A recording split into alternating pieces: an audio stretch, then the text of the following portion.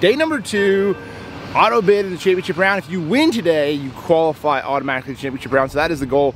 We are up by a little bit of weight, but not not enough. Not enough. We're gonna definitely have to catch a few. Wish us luck.